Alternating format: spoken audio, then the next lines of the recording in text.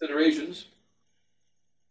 St. Bartholomew, apostles that went to India. And that if Bartholomew went to India, in fact, where Bartholomew went to India is Bombay, the main city of India, and St. Bartholomew of Armenia, not far from Mount Ararat. And uh, there in Armenia, he was martyred for the Catholic faith and was killed there in Armenia. And there, also, St. Bartholomew is an easy apostle to pick out if you see the Saint. Uh, I mean, the, the, the, picture of the Last Supper, the 12 apostles with our Lord at the Last Supper, uh, sitting on the side of the table and leaning on it. That's St. Bartholomew. So it's the, uh, the apostles. Judas is the one who's easy to pick out. He has the he has the coins in his hand, and Judas is the one that betrayed. So he was uh, he was crucified, cut all of his skin off with a knife, and then at the very end beheaded him. And that's how St. Bartholomew died. And so he was the apostle that was skinned with a knife. And hence, you see in the picture of the, the, the north of India, St. Thomas went all throughout India to the south of India and, and died in the southern. And he came to India before St. Uh, Thomas, and he went back and was martyred uh, before St. Thomas also. And so that, uh, so that St. Bartholomew was a great apostle. And there's a description of him that is given to us. So there was a devil by the name of Berith, and the, the, the, and he was he was deceiving the people in that northern part of India, and that he would torture uh, people, and then he would say, "Come to my temple to be cured," and they would come to his temple to be cured, and he would stop. Torture. Thomas came. Thomas came uh, into the place, and Berith was required to speak, and he said he was not able to do his his wickedness and he was going to be thrown out. The follower of God is here. His name is Bartholomew. They said, How will we recognize him? They said, Well, you will see a man with curly hair, with a flat nose, and a fair face, and a dark black beard, and he wears it last 20 years. But it never gets worn out. And it never it never wears out, and he, and he speaks all languages. Whatever place he goes to, he can speak the language. So remember the 12 apostles, they were given the gift of tongues. And the real gift of tongues means the ability to speak a language that you don't understand. Nowadays, these modern idiots in the charismatic movement, followers of Satan, and many of them just deceivers, they say you have the gift of tongues. What is the gift of tongues for them? It means simply to make babbling noises. Anyone can make babbling noises. And if I go into India and I meet a Tamilian from Tamil Nadu and I speak perfect Tamil, I have the gift of tongues. And if I go to France and speak perfect French, I have the gift of tongues. And how do you know the gift of tongues? If, it, if, if an Indian comes here and he speaks perfectly, says, and he can understand every word we say, that's called the gift of tongues. The 12 apostles had the perfect gift of tongues, all 12 of them. Everyone they met, no matter what language that person spoke, they could speak that language. So they weren't bilingual, trying to speak four languages. You're quadrilingual, whatever that means. Hmm. if you speak three languages, you're trilingual. If you speak two languages, you're bilingual. So that the but but but the but the but the Saint of Bartholomew, he thousands of languages. He spoke every language on earth and perfectly. So that whenever he met anyone, he was able to speak to them in their language. Now, what did he speak in their language? He spoke the same truth. How do we know we have the uh, we can speak the same language? So we have here the uh, uh, this the, this a book. I'll pick it up. Hmm. How do I know that I can speak different languages? If I can say book, and you and, and you know that that refers to this thing, and I say to you also liber, which is the Latin way of saying book, then I know that you can speak a different language. I can say this thing, I can say liber, I can point to this thing, and I can say book. And so when I say liber and I say book, it refers to the same thing. That means I can speak two languages, at least about that word. And so what happens, how do we know we speak multiple languages? When we can say exactly the same thing with precisely the same meaning in multiple tongues. The devil, what he does is, he even speaks one language. And when he says something, and he says it again, and he says it again, he just said three different things. That's the demonic way of tongues. The demonic say the same thing over and over again and have a different meaning every time.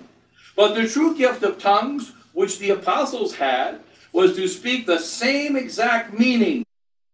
The correct Bible is perfect, the one of St.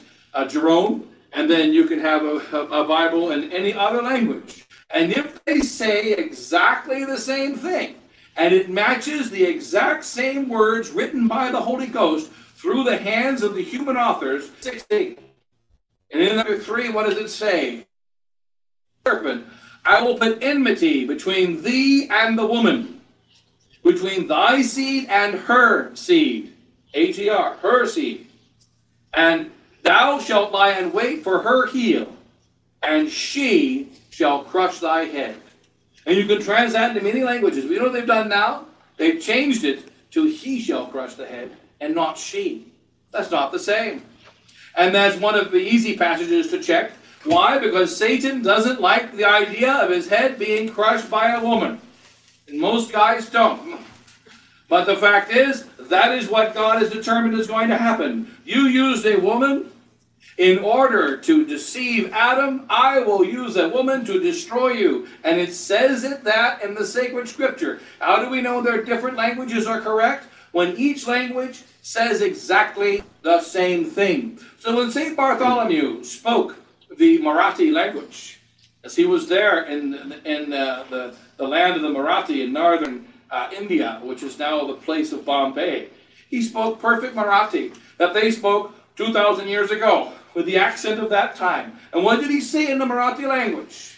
He said, Jesus Christ is God, and there is only one God, and he has destroyed all of the false gods, including this liar of devil which is called Berith.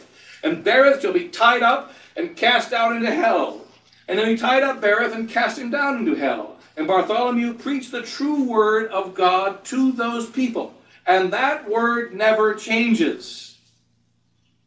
And what also the practice of God never changes also. He made a religion which is one, and a religion which has the same means of saving souls from the time that he left this earth 2,000 years ago until the very ending of time. He gave us, for instance, this holy sacrifice of the Mass. What happens at the Mass? It is the priest offering a worship and sacrifice to God in the name of our Holy Mother, the Church, in the name of all souls and offering worship to God as priest, and he is offering a victim.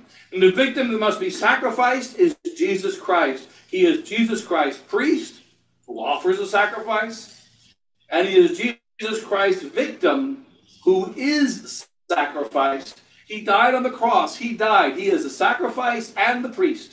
He's the victim and the priest. In the Old Testament, the priest offered a lamb. The Priest offered a lamb, but the priest did not offer himself. Whereas in the New Testament, the priest must sacrifice himself. The, the sacrifice is the same, the priest and the victim. So St. Bartholomew came and offered this same Mass in India. St. Thomas came later and offered the same Mass and taught the exact same thing. The exact, so in Barth- he was only passing through the land of St. Bartholomew. But when he passed through that land, he told them the same Bartholomew. How are we going to recognize him? You will see a man nose and a black beard and a white tunic and a white garment with short sleeves and, and little gems on the, on the sleeves. And it's the same one that he wore every day, and he genuflects and kneels on that garment over a hundred times a day. And yet the garment is never damaged. And you will recognize him because he is always cheerful, he is always joyful, and he is good to his enemies, you will recognize him. Furthermore, Bartholomew goes where he wills. And if he doesn't want you to see him, you will not see him. But if he does want you to see him, you shall. And he is here now. And so the people left and they went looking for him, and for two days they could not find him. Then he finally showed himself before them and then told them to leave behind the false gods and come to the true God. But it's interesting that what the devil was required to say about the apostle. The apostle wears the same garments. See, they, we wear the same garments. This is a chasuble, the same garments that we have worn for 2,000 years. And the, and the maniple and the stole, these sacred garments. Some of them go back to the Old Testament. And we wear the same garments when we go to the altar. And these garments show that we are connected to God And they also show that we are connected to our ancestors all the way back to Jesus Christ. Because St. Peter had to go in houses. And remember, when St. Peter said Mass in a house, it wasn't quite the same as when we're saying Mass in a house. There had to be guards looking out the window for the Romans to come and kill them. And you know, in the English had the rules. I always take everything down right after Mass. When they had Mass in England and Ireland, the priest would say Mass. And everyone had a job. So there's 15 of 18 of us here. So there's everyone had a job. If the English soldiers come to the door, the mother of the house walks at 0.1 miles per hour towards the door. While she's walking 0.1 mile, I'm coming, I'm coming, I'm coming, I'm coming. The priest picks up the chalice. And each man has a job. Somebody comes and takes away the, the, the, the, uh, the cloths. Another one takes away the candles. Then the priest puts down the chalice into a hidden box. He immediately, if he has time, removes his vestments. If not, they go straight into there's a hidden hole in the house. They open up the hole, and there's a hole in the floor. He goes straight into the hole, and within 30 seconds, this entire altar is taken down. And there was also a girl in charge of coffee cups and teacups and silverware. Because when the English soldiers would come in, they would say, There's 15 of you in this house. How come there's 16 cups out? Mm. Why are there 16 cups and there's only 15 of you? And how come there's extra silverware? So someone would immediately grab the extra cup, clean it, put it away. Mm. It would make sure that there was no sign that there was an extra person there, and they would go inside of the hole. About 10 years ago, or a little more than not that long ago, in England, they were doing a digging up of an old house. And they dug up a hole in the house, and there was a priest dead. He was laying with his full vestments that I have on right now, holding the ciborium, and he was a skeleton. Because what happened was, the English came to his house. He went, hid, he went and hid in the hole, and they locked him in the hole. But then they went through the house, and they couldn't find the priest. And they didn't trust the people, so they arrested all the people, took them to prison, and martyred them.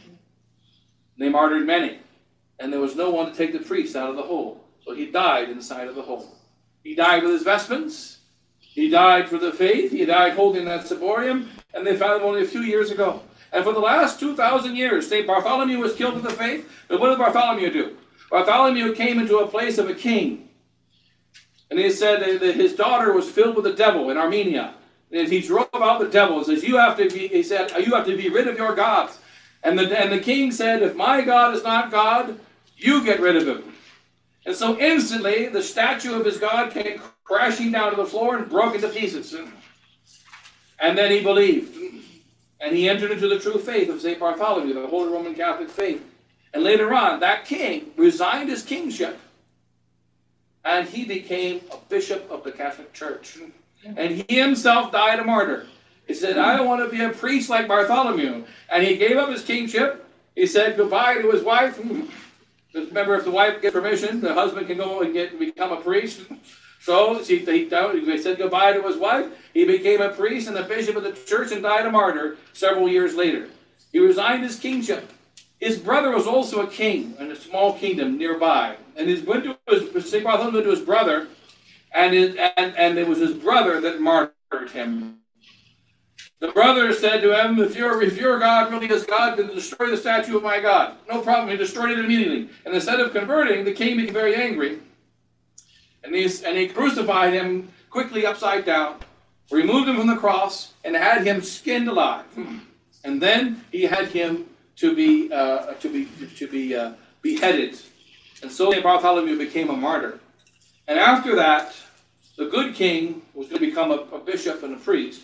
The bad king and those involved in the kingship, they were all died. They all died the same day Bartholomew died. And then the people repented and joined the church of St. Bartholomew, and they buried him and protected his bones. And now his bones are in Rome. They were gone from Armenia, and they're now in Rome. And so Bartholomew, he taught the same faith. He spoke many languages, but in every language he said the same truth. Now, there are not only many languages, but there are many generations. So, 2,000 years ago, they spoke the same words. Guess what we're supposed to speak now? The same words. I am not to speak different words in 2020 than what was spoken back in the year, the year 120. or the year 1020, or the year 1820, or in the future in the year 2525. It is necessary to speak the whole divine truth, and it must be the same truth. Then St. Paul says, Tradidi quod accepi, I have handed down that which I have received. We must hand down the same truth we received and pass it on from generation to generation until the end of time. And Bartholomew taught the truth in many languages. Now he has bishops and priests that have followed him for the last 2,000 years, who must do as Bartholomew did and speak the truth, the same truth he spoke in many languages, without changing any meaning of any word, and to every generation until the ending of time. So God bless you all. In the Father, and the Son, and the Holy Ghost. Amen.